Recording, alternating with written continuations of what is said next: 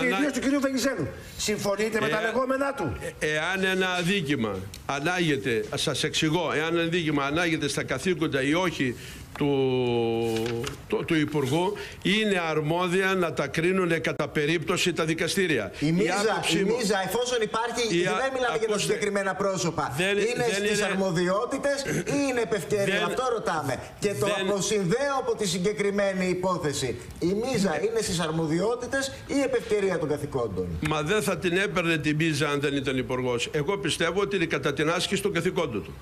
Γιατί αν δεν ασκούσε τα καθήκοντά του, δεν θα τα έπαιρνε. Ο, ο, οποιοδήποτε υπουργός, σε οποιαδήποτε Είναι στα εποχή. καθήκοντα ή επευκαιρία. Ή επευκαιρία Προφανώς των είναι καθηκόντων. χρονικά Είναι- κατά την άσκηση, αλλά είναι, Είναι- στα καθήκοντα ή επευκαιρία των καθηκόντων. Είναι στα καθήκοντά του. Είναι στα καθήκοντα η μίζα. Ναι, αυτό Την πιστεύω. άλλη άποψη που είχε διατυπωθεί από